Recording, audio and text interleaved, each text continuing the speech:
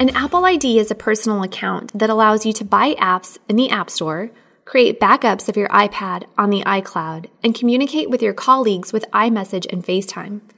Your Apple ID can sync across devices. This includes photos and videos that you take on your iPad or iPhone. Anywhere you are signed in with your Apple ID, apps and photos sync instantly. Remember that your Apple ID should never be shared. It provides access to personal information like contacts and photos. Sharing your Apple ID with another person is giving them access to your personal information. All you need is an email and a computer to get started. Open an internet browser and visit appleid.apple.com. Click Create Your Apple ID and complete the information.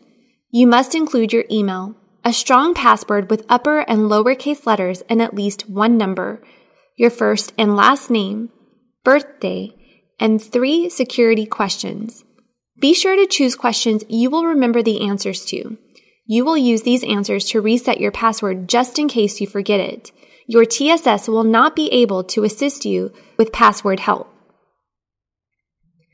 Deselect the options to receive updates on announcements, Apple products, and Apple News updates. Then enter your password into the text box. Click Continue.